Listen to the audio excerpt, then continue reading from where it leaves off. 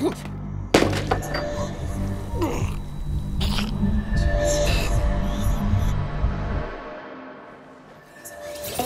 será tu voz.